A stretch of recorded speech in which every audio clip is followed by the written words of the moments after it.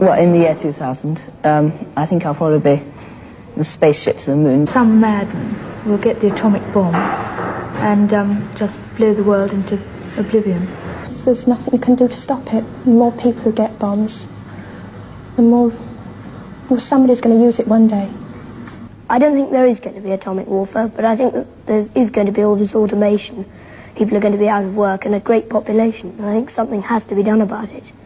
I think it'll be uh, um, people will be regarded more as statistics than as actual people.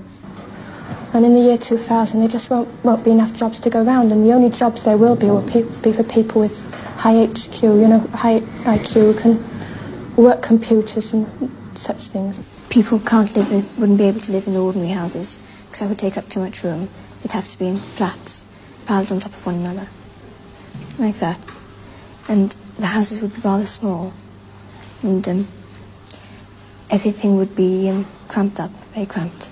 Uh, sheep and cows and livestock, but they'll be kept in batteries. Uh, they won't be allowed to graze on pastures. They'll be kept in buildings all together, all in one big building and artificially reared so they'll yield a larger, be bigger and give more food. I'm not looking forward to living in that year, about 50 years' time. I mean, world seems to be in such a terrible state now, let alone in 50 years' time.